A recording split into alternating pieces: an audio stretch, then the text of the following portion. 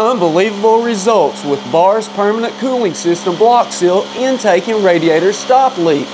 Check out this terrible leak.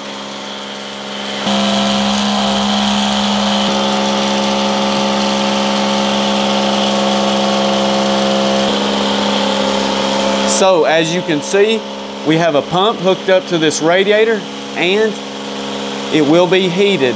So the antifreeze will be hot.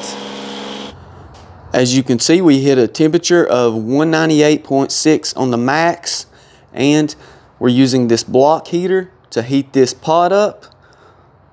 Also using the pump, which pumps the antifreeze into the radiator. And if you'll take a close look, this is where I welded the radiator in a previous video and I removed the weld, hence causing it to leak once again.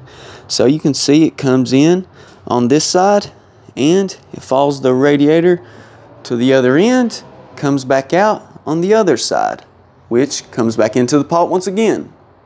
Let's go ahead and begin our test.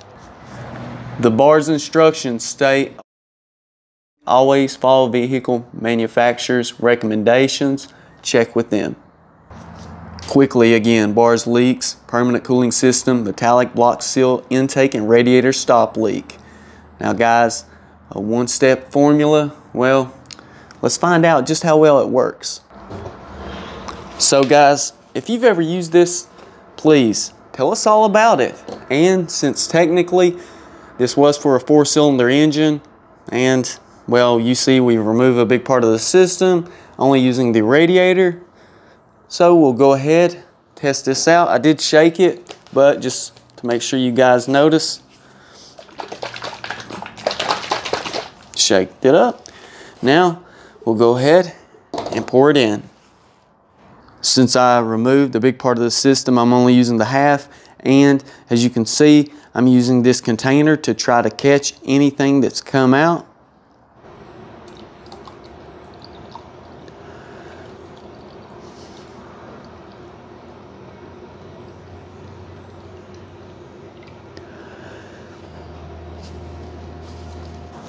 Now, before I hit the button to start the pump, if your view is to not use any type of stop leak, well, a lot of that depends on the situation. For example, if you have an engine that's completely destroyed and this may be able to buy you just enough time because you don't have the money for the repairs and you're not going to repair it because the vehicle isn't worth repairing, then maybe you would call into question using this or another situation. Just be careful what you're using in your cooling system because you could plug the heater core or radiator up and it wouldn't be able to flow properly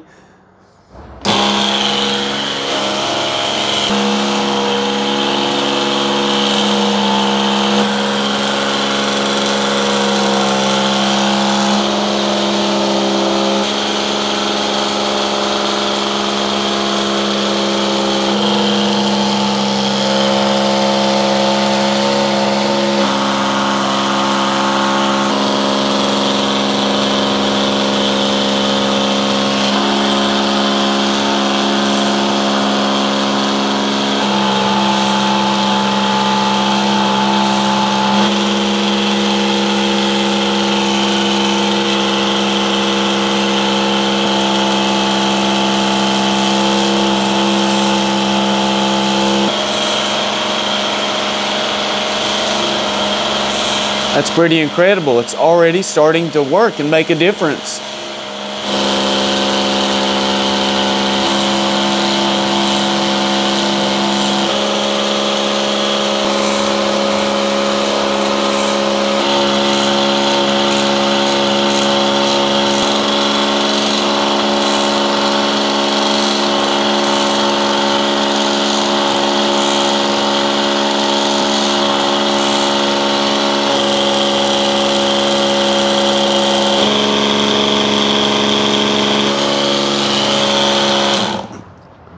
I'll be honest, I allowed that to go for only one hour.